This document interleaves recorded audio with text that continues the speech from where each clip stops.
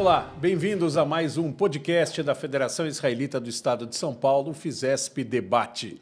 Você que está nos acompanhando pelo Spotify, seja muito bem-vindo. Você que está no YouTube, por favor, curta a nossa página, você que ainda não curte, para receber a sinalização de quando tivermos um novo podcast. Hoje nós estamos recebendo um dos maiores advogados criminalistas do Brasil, mas antes de tudo, ele é maior porque ele tem 1,90m e pouco. Mas não, realmente ele é um excepcional advogado criminalista, um cara de um coração do tamanho dele, agora com estente, mas coração enorme. E grande ativista comunitário, Daniel Bialski. Dani, muito obrigado por aceitar nosso convite e estar aqui com a gente. Ah, Ricardo, eu que, eu que agradeço o convite, o privilégio de poder estar aqui com você. É, obrigado aí pelos elogios, que, que na verdade são um sinônimo aí da nossa amizade, até uma irmandade, é mais que uma amizade também.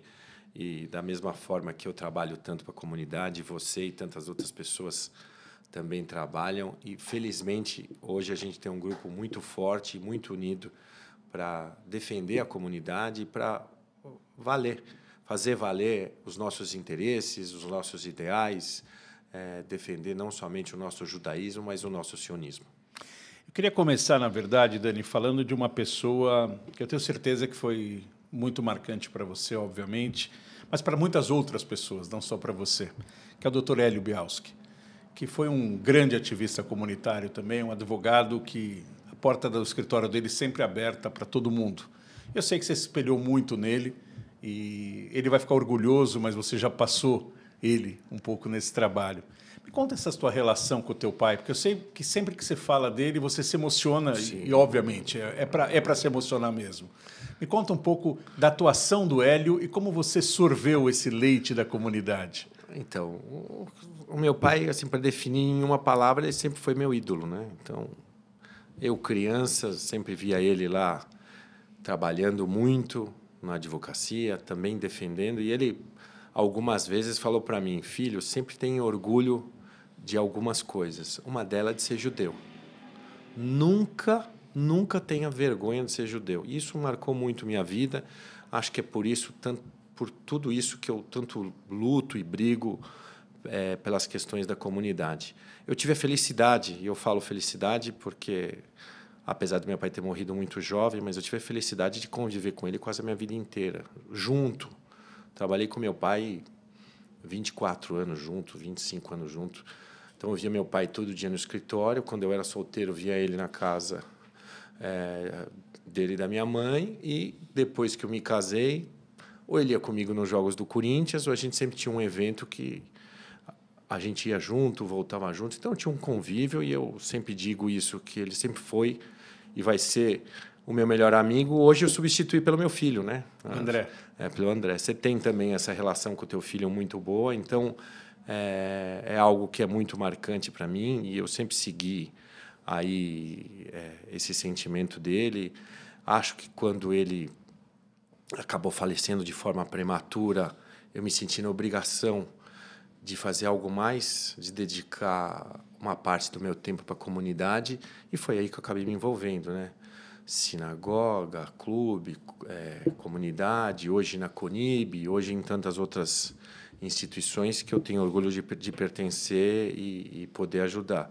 E e, e, aquele orgulho que ele mandava eu ter por ser judeu, então eu ampliei isso de acordo com as palavras dele. Eu sempre tive orgulho de exercer minha profissão de forma independente, de ser judeu e de ser corintiano, né? Que isso a gente não pode também largar nunca. E eu levo ele junto comigo e, e ele me ensinou uma coisa que eu sempre falo, na maioria das vezes que me pronuncio, é que para você sempre escutar teu coração em tudo que você fizer na vida, na vida pessoal, na vida profissional, na vida comunitária, eu sempre escuto meu coração para saber se eu estou indo pelo caminho certo. Então, ele de fato é uma luz, é, é alguém que, que me inspirava, me inspira e vai continuar me inspirando. E espero também que os meus filhos sigam esse, esses passos, né? Que ele, essa semente que ele plantou. Tenho a felicidade do meu filho hoje já trabalhar comigo também meu filho vê tudo que eu acabo me envolvendo e atuando e espero no futuro também que ele possa é, participar e ajudar a comunidade, pelo menos uma parte do que eu faço hoje em dia. Eu sei que uma das coisas que teu pai e tua mãe te ensinaram, além de ser um grande homem, é ser um grande filho.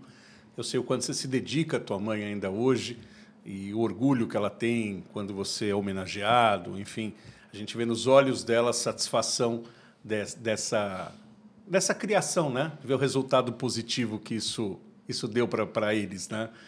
É, Dani, você, é, tua primeira atuação como presidente, aliás, mostra até o teu caráter amplo na comunidade. Você foi presidente do Betel e, ao mesmo tempo, você era tesoureiro do Beit Rabat.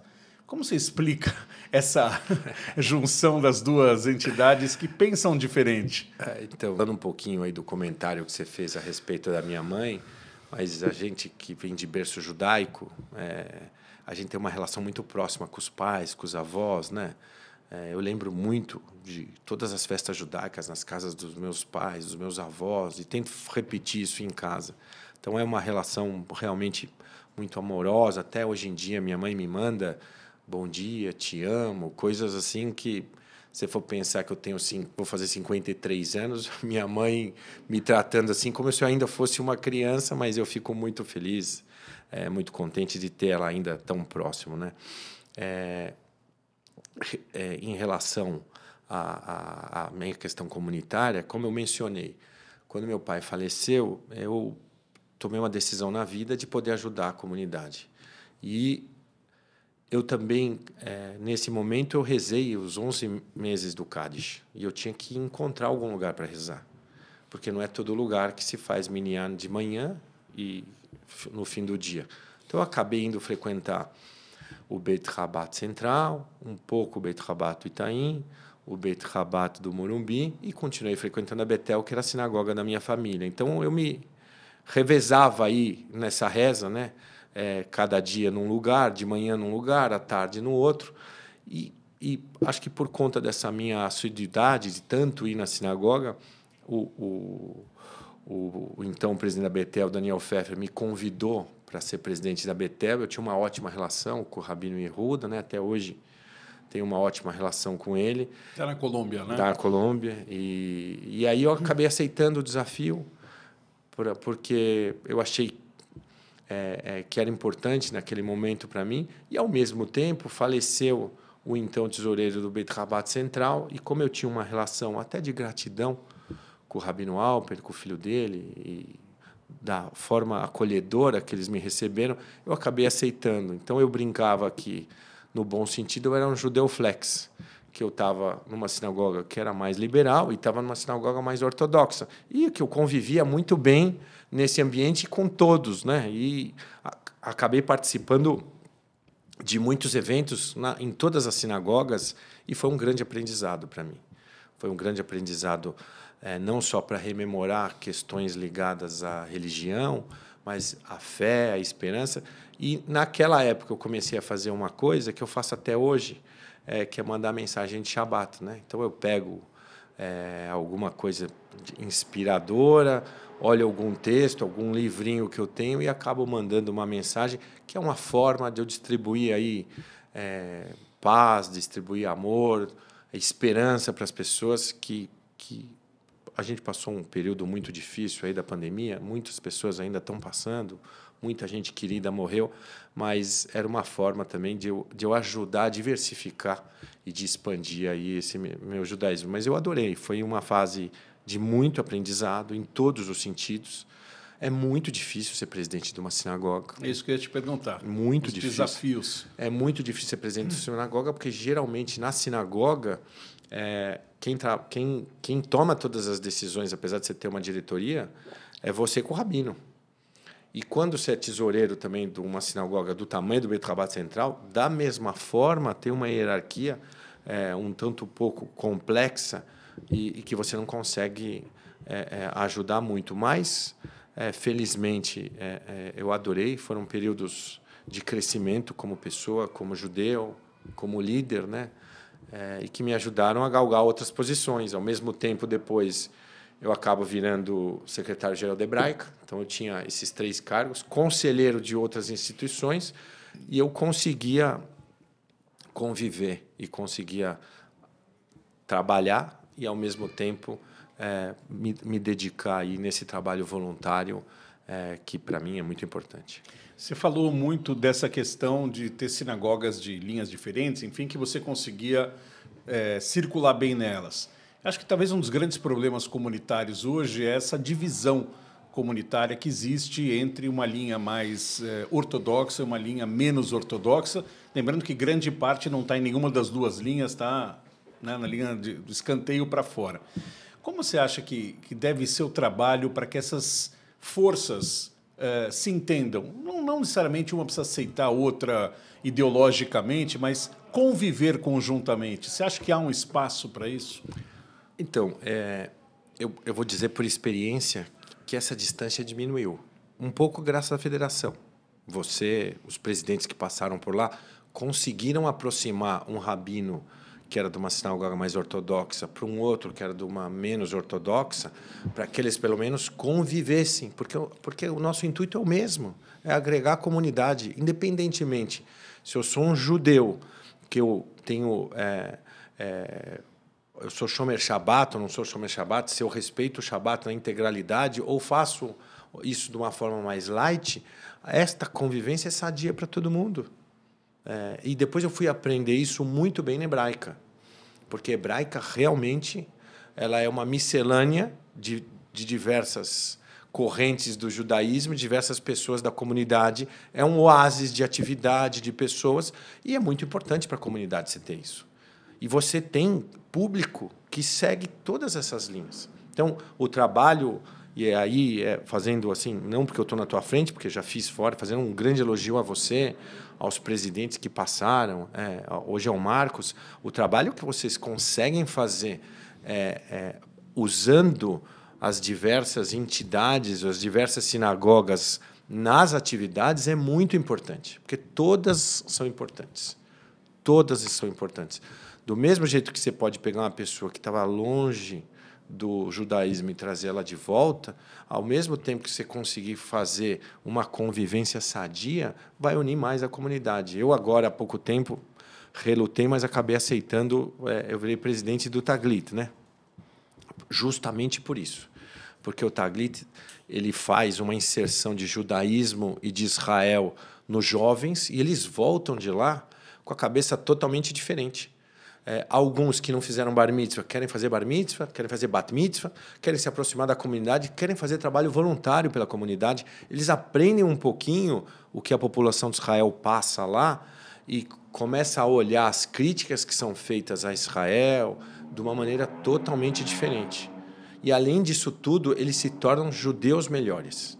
Uhum. Qualquer jovem que for para lá, ah, mas muitos vão depois passear para a Europa, mas não interessa é, eu acho que o, o, o, sangue judaico deles ferve muito mais quando eles vão lá fazer esse programa. E foi só por isso que eu acabei, que eu acabei aceitando é, ser presidente para poder ajudar de novo a formar aqui esse board aqui no, do Taglit no Brasil para levar cada vez mais jovens, resgatar mais gente.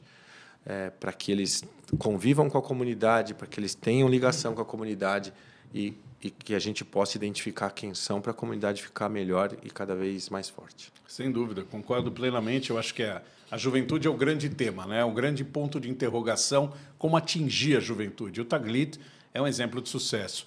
Mas voltando para a hebraica, eh, a hebraica, na minha opinião, teve um divisor de águas com a entrada do Avi Gelber. O Avi disputou uma eleição na hebraica, o que não é comum né? Eram dois aves, dois excelentes uh, ativistas comunitários. Ganhamos por cinco votos. Por cinco votos, é. uma eleição aguerrida, mas que trouxe de novo o amor pela hebraica a todos, né? Porque o próprio Ave Meisner, no dia seguinte, falou: hoje somos todos hebraica e acabou, não tem essa discussão. E o Ave Meisner trouxe uma geração nova para o clube, no qual fez parte você, o Fernando Rosenthal, o David Arazi, enfim, uma, uma turma muito grande. É, você chama ele de teu padrinho né, comunitário e o ave é um amor. Eu acho que não tem uma pessoa que não ama o ave. Ele é paixão pura. Me conta primeiro esse convite para você ser secretário-geral da Hebraica e se você já aspirava a ser presidente da Hebraica alguma vez ou isso foi natural? Então, é, essa história é, é, é, ela é engraçada, né? Porque eu nunca pensei assim, ser presidente da Hebraica. Já tinha sido conselheiro, mas presidente não. Aí eu, eu volto de uma macabíada, né? Que apesar de velho, sou teimoso, ainda gosto de jogar futebol. Bom goleiro. Gosto de me machucar, mas eu continuo jogando, né? Eu acho que é uma forma de terapia isso. E aí eu voltei de uma macabíada, o Abramo e o Ave tinham marcado uma reunião comigo, com o Charles Eucalá e com o Dave Arasi. Aí eles falaram assim: escuta, os jovens estão indo embora da hebraica.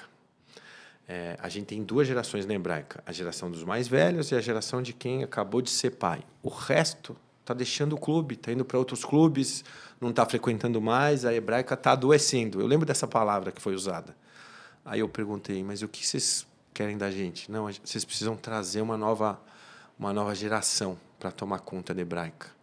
Aí aquilo, putz, sou de uma forma tão forte, porque eu, eu vivi, fiz escola de esporte, joguei um monte pela hebraica, então aquilo eu falei, mas como assim? A hebraica tá ruim, não é possível. Eu sempre vejo hebraica, assim, para mim ela sempre tá bem. Mas na verdade não estava e a gente acabou fazendo uma chapa jovem. Aquela naquela situação, o meu contato do AVE não era tão próximo, né? Ele era presidente lá, diretor da CBM, tudo, vice, vice de esportes da Hebraica. Mas a gente acabou criando uma relação muito de confiança, até porque na eleição tiveram algumas confusões, tudo, e teve uma reunião que ele que cada um estava escolher que cargo você quer ser para concorrer. Aí, como eu adoro esporte, eu falei assim, não, eu quero ser vice de esporte. Ele falou, não, não, não, você vai ser meu secretário geral, porque eu não assino nada se você não fala para eu assinar. Então, e, na, e, a minha relação com a Ávia, ela já era muito fraternal, né? Era, era realmente um, uma coisa é, inexplicável, mas era muito forte. Eu falei, é isso que você quer, Ave? Então tá bom, então eu desisto, você secretário-geral. E, de fato, é, eu, eu, eu fiquei muito próximo dele quando ele era presidente, a gente teve muitos problemas, problemas diversos, é, até de arrecadação para fazer obra e tudo mais, mas a gente acabou superando tudo isso. E aí, é, é, é, um ano antes de eu virar presidente, ele foi tomar um café da manhã comigo e falou: Você quer ser presidente da Hebraica? Aí eu brinquei com ele e falei assim: Ah, sim. Quem é que frequenta Hebraica ou trabalha pela Hebraica que vai falar para você que não? Óbvio, mas eu nem sei se eu sou a pessoa mais adequada, mais indicado, mas assim, obviamente que eu ia achar o máximo, poder estar tá nesse hall é, de presidentes da Hebraica. Ele falou assim: então, eu quero te dizer que você é o meu candidato. E a partir daí, é, a gente acabou trabalhando é, para que isso acontecesse. Né? Então, a gente fez um período de transição muito bom, acertando vários problemas que a Hebraica tinha, para que eu pudesse começar a minha presidência é, com menos problemas e com mais soluções, e foi o que aconteceu. É, eu passei um período muito difícil na Hebraica, na época da pandemia, muito, muito difícil.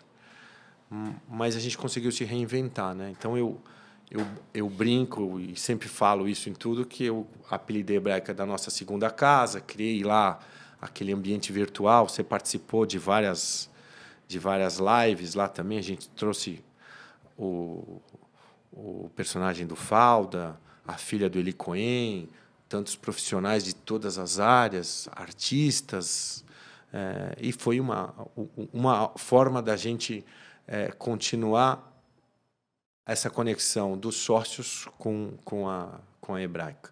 E você estava falando de jovem, eu me orgulho de muita coisa que eu fiz na hebraica, mas o que eu mais me orgulho é de trazer os jovens de volta para o clube, porque quando eu vejo que os meus três filhos faziam academia de ginástica fora da hebraica e hoje os três fazem dentro da hebraica, que os filhos dos meus amigos estão fazendo academia na hebraica, que eu tinha uma academia que tinha 400 alunos, semana passada foi para mais de 3 mil alunos. Metade é, entre 14 e 25 anos, é, eu falo assim, Missão cumprida. Missão cumprida. Missão cumprida. Fora todas as outras coisas. Parque aquático. É, é mas sim, é, é, esse para mim é um, é, acho que foi a cereja do bolo e teve também a questão da vacinação, que não é só para a comunidade, mas foi para a comunidade maior, que foi algo que realmente eu me emocionei, algo que vai marcar minha vida para sempre. A Hebraica vacinou 90 mil pessoas. É muita gente. Ajudou aí a a salvar a vida de tanta gente, assim, mostrando que o clube, que a comunidade, que o que a gente faz não é só para a gente, a gente não tem esse egoísmo que os antissemitas adoram dizer, muito pelo contrário. Acho que não tem comunidade no Brasil é, ou comunidade no mundo que ajuda tantos outros que nem a comunidade judaica. E São Paulo é um grande exemplo disso. É, acho que foi semana passada, duas semanas atrás, o governador foi agradecer a Fisesp por toda a ajuda lá que teve no litoral norte, né? Então, é, esses são exemplos que ficam e marcam é, e que não podem ser esquecidos jamais do que a gente fez, do que a gente faz para a nossa comunidade, para os outros, para os nossos filhos, para mostrar para eles, para independente disso ou daquilo, é, sempre que a gente puder, tem que ajudar o próximo. O que as pessoas talvez desconheçam é que a hebraica colabora para que muitos jovens sejam sócios. Muitos talvez não teriam condição financeira de ser sócio da Hebraica, mas a Hebraica abre as portas para esses jovens. Você tem hoje ideia de número de sócios que a Hebraica tem ou recuperou nos últimos anos e a, o percentual de jovens que frequenta? De cabeça aqui eu não vou lembrar, mas o que eu posso é, é, afirmar com absoluta certeza é que quando a gente reabre o clube, obviamente a gente reabriu o clube com menos sócios do que quando do fechamento. Mas gradativamente a gente foi ganhando muitos sócios e essa curva de crescimento ela foi aumentando muito mais. Quando eu deixo a presidência, ela já era alta. Com a presidência do Fernando, que agora vai completar dois anos, ela é sempre crescente. Todo mês mais sócios vindo, mais sócios voltando para o clube, sócios da comunidade que pertenciam a outros clubes voltando a ser ou virando sócios da Hebraica, o que é ótimo para a gente. Né?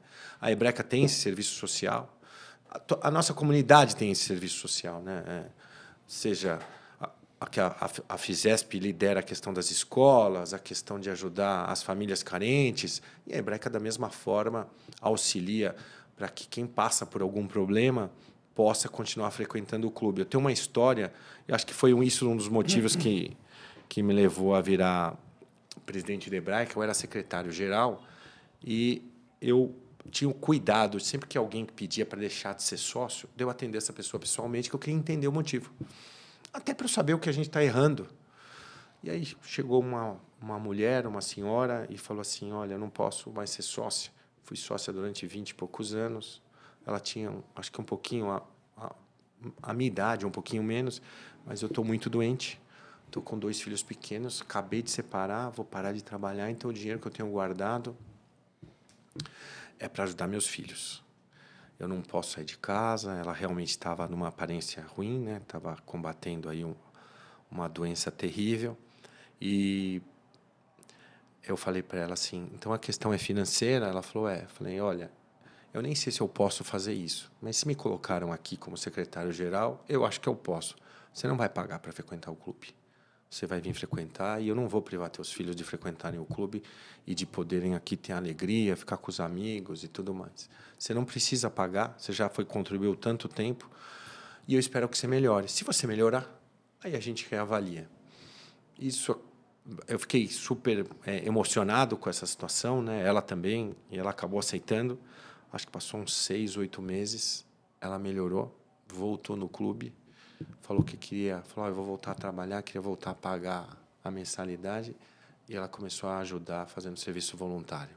Então isso para mim, essa mulher foi uma inspiração de falar, putz, ainda bem que eu estou aqui, ainda bem que eu posso fazer isso para uma pessoa da comunidade que é, a comunidade não podia ter virar, não, não podia virar as costas é, é, e isso que, que a gente faz bastante, né? Quando alguém procura a gente da comunidade, vocês na federação, muito mais do que eu, na pessoa física hoje, ou até como vice-presidente da CONIB, vocês ajudam em todos os aspectos que vocês podem.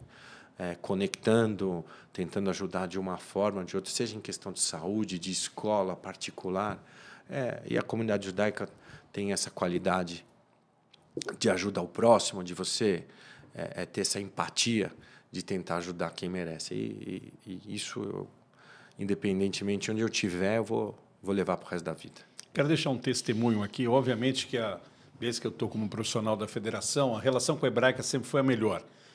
Com o Abramo, com o Arthur, com todos os presidentes que passaram pela Hebraica, sempre uma relação excelente. Mas com você em especial, isso que você falou, uma irmandade, né? A Federação e a Hebraica se tornaram uma entidade única.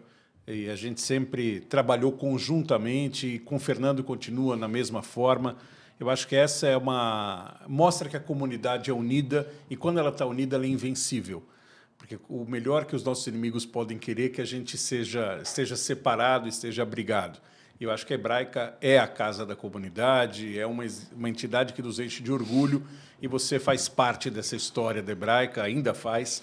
Né? Agora o Fernando, que também é um, um doce de pessoa, mais ou menos, às vezes ele é meio brigão, mas estou brincando. O Fernando é um amor de pessoa e eu acho que Hebraica enfim, hebraica é hebraica, ninguém tem uma hebraica, só nós temos hebraica. Ah, é verdade, eu falo isso porque vem pessoas de outros países visitar, parentes meus vêm visitar, ninguém acredita o que hebraica é.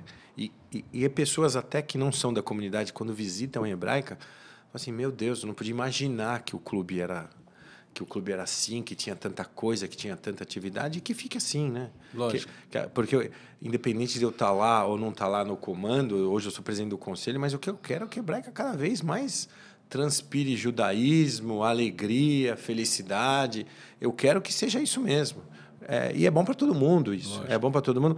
E eu sempre falei isso. Falei assim: olha, a Hebraica tem que estar de portas abertas para a comunidade e tem que fazer parceria com as outras instituições. Eu fiz muitas atividades com sinagogas, com Nibes, com Teniad. Com Teniad mesmo, é, é, o Rabino Davi me, me falou uma época: falou, olha é, de domingo as pessoas aqui que eu ajudo não têm nenhum lazer. E aí a gente acabou fazendo um convênio para essas pessoas poderem frequentar o clube. Sobre eventos do Holocausto Sim, também. sobre eventos do Holocausto, que são nossos verdadeiros heróis. Eu sempre Lógico. falo isso. O que eles passaram. Quem imagina isso? E toda vez que eu vou brigar com alguém que é antissemita, algum nazista, alguma coisa assim, eu sempre falo: você já conversou cinco minutos com um sobrevivente de um campo de concentração para você falar o que você está falando? Você nunca falou. E por isso que eu sou tão, eu acho que tão radical em algumas atitudes é, enquanto é, é, vice-presidente da Conib, por conta disso, porque eu já conversei. Eu, eu tive parentes que morreram na guerra, você, um monte de gente da comunidade, então eu não posso deixar isso passar. E eu brinco até, eu não sei se você já assistiu aquele seriado Hunters. Eu brinco que eu sou um hunter aqui. Eu fico caçando, e eu caço mesmo. Antissemita, nazista. E é obviamente que a gente age de acordo com a atitude da pessoa. Se a pessoa falou, se arrependeu de fato, a gente pode até desculpar, relevar, ver alguma forma dela colaborar com a gente para ensinar os outros. Agora, se eu interpreto que esta pessoa, é, pelas suas atitudes, tem algo contra a comunidade, eu vou agir com todas as armas que eu tiver, com polícia, Ministério Público, Poder Judiciário, porque eu vou fazer de tudo para punir essa pessoa pelo que ela fez. Denis, você entrou depois da Hebraica na Conib, tendo o professor Cláudio Lotenberg como presidente, e também era um campo diferente para você. Você, como sempre disse, você sempre foi uma pessoa de opinião, uma pessoa que sempre pôs à frente a tua ideologia e o teu modo de pensar. E trabalhando para a Conib, obviamente, tem que se adaptar, se readequar a uma realidade diferente, né? Como está sendo essa tua experiência como vice-presidente acompanhando o Cláudio, que, enfim, abre qualquer porta em qualquer lugar?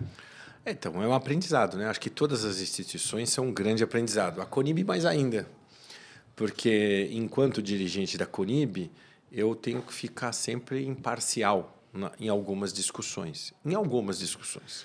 Eu eu sempre falei para o Cláudio que questões ligadas a Israel e ataques a Israel e ataques à comunidade, nessa situação, é, eu acho que a gente tem que ter uma atitude um pouco mais veemente. Agora, questões políticas no Brasil, coisas que a Conib não precisa interferir, e enquanto eu falo Conib, eu falo comunidade também, eu também não vou emitir opinião, não vou me intrometer em algo que pode ter algum tipo é, de consequência para a comunidade. Porque é, eu posso falar como Daniel, mas as pessoas podem dizer, não, é o vice-presidente da Conib. Então, foi algo que, desde que eu assumi o, o cargo, desde que eu aceitei o convite do Cláudio, é, eu tenho cumprido isso. A gente é, é, divide todos os trabalhos lá. Ele, como o grande líder, como você muito bem falou, ele abre portas, ele é bem quisto em todos os locais que ele vai, principalmente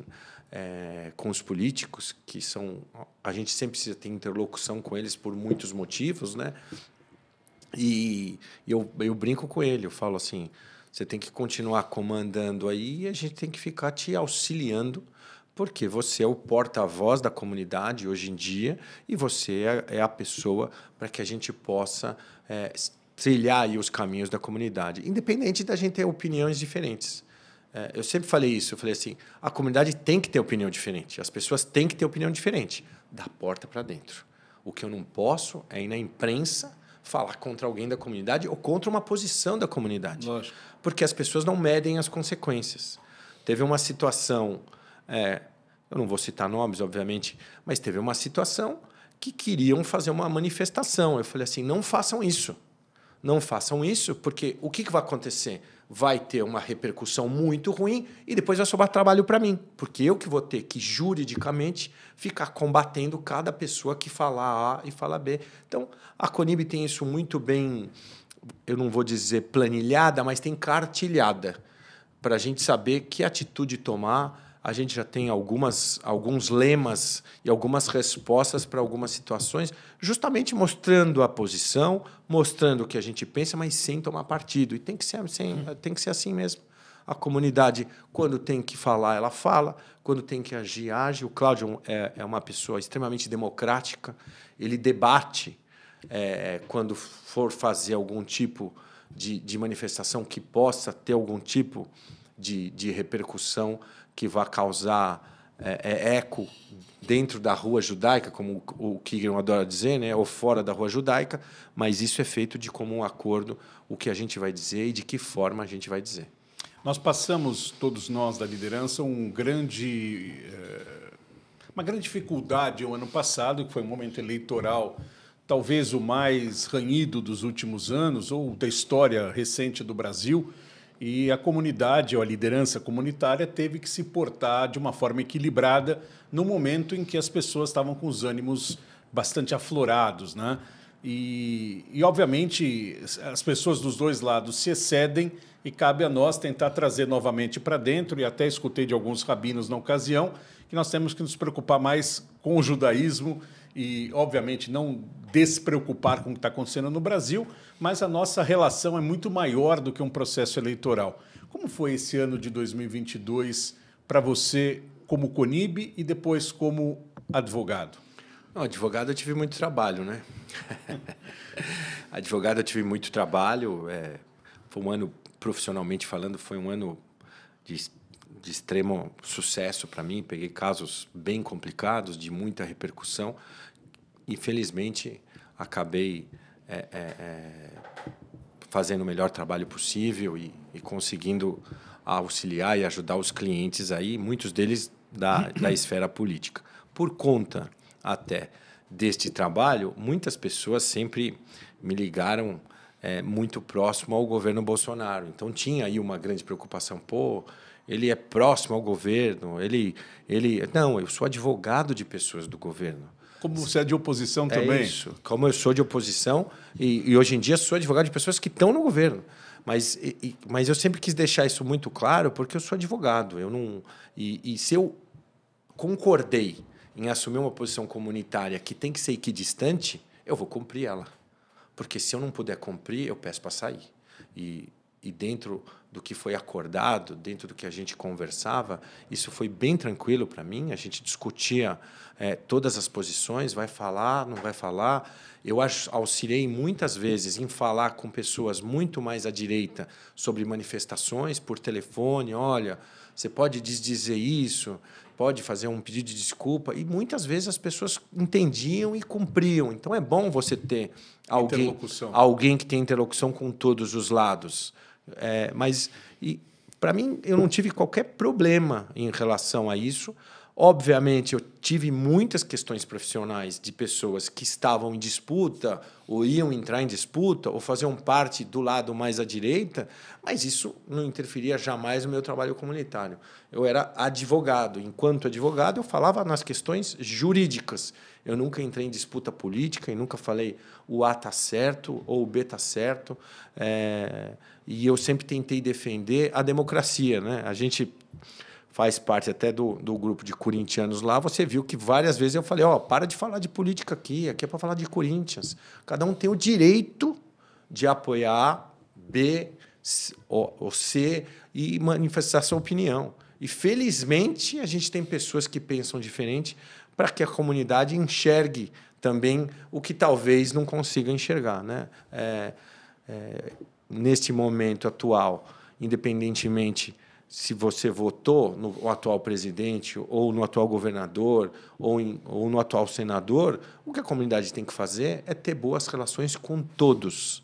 Porque sempre a gente vai ter questões, pendências, pedidos que a gente precisa saber fazer, poder, poder tem que ser recebido. E isso é muito importante para a comunidade, para que a gente fique protegido. Eu falei, eu faço parte de grupos de combate ao antissemitismo, é, não só na América Latina, mas mundial. Eu já escrevi algumas vezes lá. O Brasil tem a grande sorte, a grande sorte da gente ter muito boa relação até com quem fora do Brasil é nosso, são nossos inimigos, né? Outras religiões, os árabes, e o Brasil nunca teve qualquer tipo de atentado que pudesse colocar em xeque essa é, relação harmoniosa, que tem que ser mantida. Uhum. E eu sempre falei isso para todas as pessoas, as personalidades políticas que eu falei. Falei assim: não tragam para o Brasil um problema que é externo. Deixe o problema externo para lá. O Brasil tem as comunidades e elas se conversam muito bem. E, e, eu fico muito feliz quando a gente vai num evento da comunidade árabe ou comunidade católica e vice-versa. Eu fico muito feliz de poder conversar com essas pessoas e falar: escuta, aquilo que foi falado não está muito legal, vamos tentar é, ordenar o discurso para a gente não criar ainda mais e fomentar esse ódio que existe entre não entre nós, mas entre pessoas da nossa comunidade, que existem de fato, radicais tem para todo lado. O que a gente tem que saber é, é combater e, e, isolar essas pessoas. Às vezes eu sempre falo que a gente dá muito palanque a determinadas pessoas que não têm visibilidade.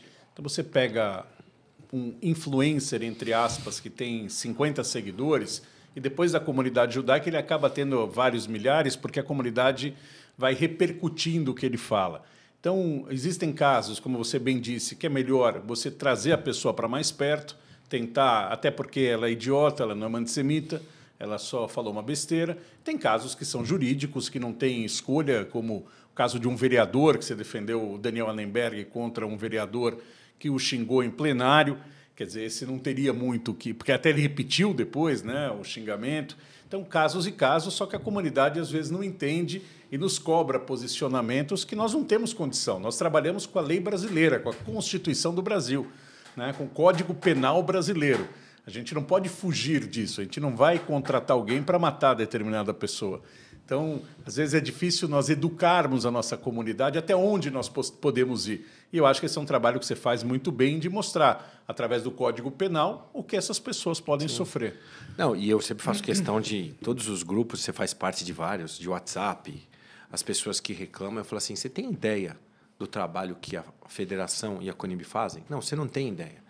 Porque quando as pessoas começam a postar um vídeo e repostar, eu falo: para de repostar isso, isola isso federação está tomando conta, Conib está tomando conta, o trabalho que a federação faz de monitoramento é, é fantástico. E, e, e, realmente a gente consegue gerenciar as crises e consegue tomar as melhores soluções em tempo recorde, em tudo, muito rápido. Uma manifestação aqui, um evento ali, o que, que a gente vai fazer? Qual atitude a gente vai tomar? Isso é feito com com muito cuidado e, e muito estudo, né? Não e, e eu vou dizer é, com uma perfeição incrível, seja com assessor de imprensa, com dirigente, onde a gente está envolvido, seja com terceiras pessoas que a gente tem que falar, é, é muito muito importante. E eu, eu sempre faço questão de colocar, falei, a federação já tomou providência, a Conib já tomou providência, já pedimos isso, para quê? Para que as pessoas entendam a amplitude desse trabalho, porque é muito fácil falar, ah, por que a federação não fala isso? Por que a Conib não fala isso? Eles não têm ideia. E a gente também não pode revelar tudo o que a gente faz, Exato. mas eles não têm ideia do trabalho que a gente faz. Quando Exato. eu estou em petit comitê, eu explico para as pessoas. Falei, você sabe que a gente faz isso, isso? Não, não sabia. Eu falei, então. Então, antes de criticar, bate palma, que tem pessoas profissionais e voluntários que estão lidando, monitorando e ajudando a comunidade nesse sentido. E temos várias. Felizmente, a gente tem muita gente boa muita. Eu falei anos atrás, é, eu fiz, acho que uma live com o Kignel, com o Fernando Lotenberg e com a e com a Denise Antão, eu falei que a gente está numa, numa geração de líderes que, diferentemente do que já se viu no passado, eles não estão preocupados com os cargos, eles estão preocupados em sim, em de forma integrada, melhorar as instituições e melhorar o convívio da comunidade, que é muito importante. A vaidade é deixada de lado. Tive a honra de apresentar essa live. É verdade, é verdade.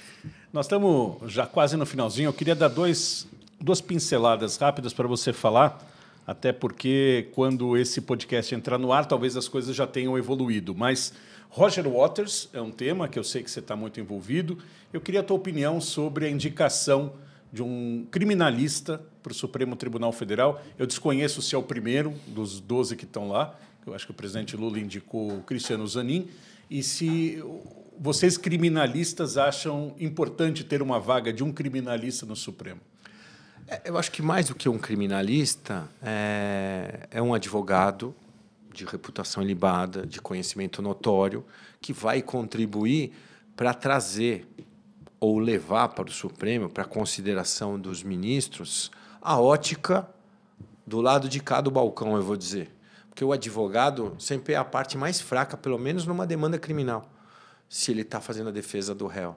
Então, eu acho que o doutor Cristiano é, vai exercer o cargo com louvor, ele mostrou isso, ele nunca desistiu de provar é, todas as ilegalidades que aconteceram naqueles processos do ex-presidente Lula. Então, ele tem um mérito nisso que é só dele. Eu vi ex-presidente na época. É, ex-presidente, então. É um mérito só dele, para provar que aquilo ali era um jogo de cartas marcadas. E, hoje em dia, se vê que todos os processos estão sendo anulados por isso. Mas quem levantou esta bandeira e entrou com um, dois, cinco, dez recursos foi ele, dizendo: olha, vocês vocês estão mal ferindo a Constituição, aqui tem um erro gritante, a justiça não pode fechar os olhos para isso.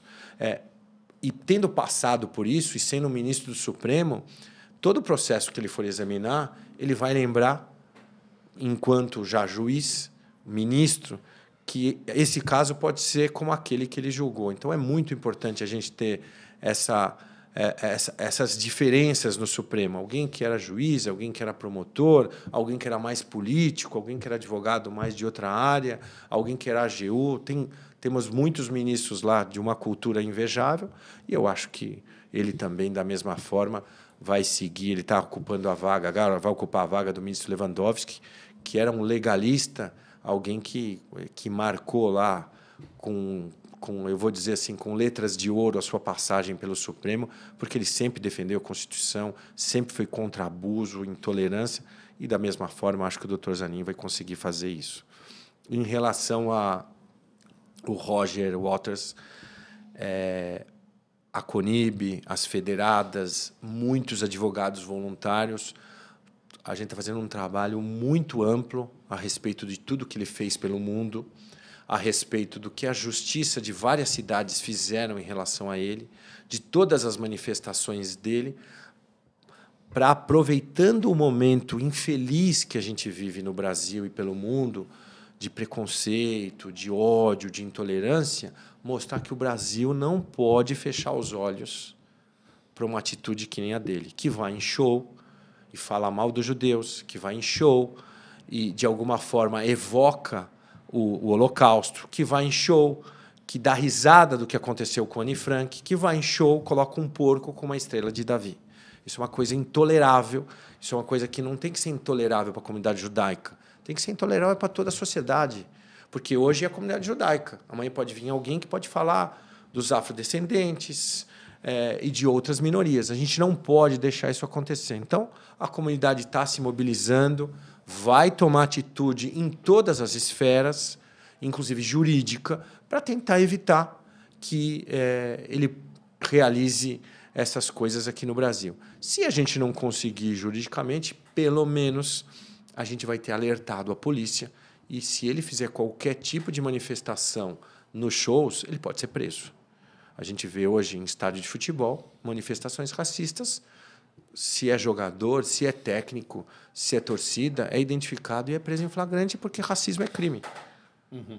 E as manifestações dele, várias, são absolutamente, indiscutivelmente racistas. E não adianta agora ele dar entrevista dizendo assim: olha, eu estava é, interpretando um personagem. É, essa, essa historinha não cola e nem vai colar. Então, a gente está vigilante, federação, CONIB e esse grupo aí que a gente tem muito forte, que a gente vai tomar atitude, que a comunidade saiba disso, que a gente tá, vai tomar uma atitude em todas as instâncias imprensa, sociedade, polícia, justiça, para evitar esse tipo de coisa. Dani, muito obrigado. Foi um prazerzaço ter você aqui. É sempre muito bom ouvir as pessoas que trabalham, que fazem e jovens que dedicam a sua vida também à comunidade. A gente sabe do, da tua carga horária de trabalho, de pai e de namorado, mas também você não deixa a nossa comunidade na mão. Então, muito obrigado por você e pelo teu trabalho. Não, eu que, eu que te agradeço aí, né?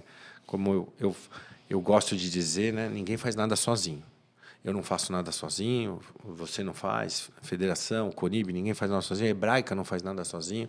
Felizmente, a gente pode contar com tanta gente competente, com tanta gente que pensa como a gente, para que a gente possa aí melhorar aí a, a nossa vida, não só pessoal, mas comunitária. Então, eu te agradeço, parabéns aí pelo, pelo podcast, pelo programa, pela iniciativa. E sempre que precisar, até para falar de futebol, pode me Vai chamar. Corinthians. Vai Corinthians. Você que nos assistiu, muito obrigado. Semana que vem a gente volta com mais um personagem, mais histórias. Coordenação do Jairo Roisen. E até lá.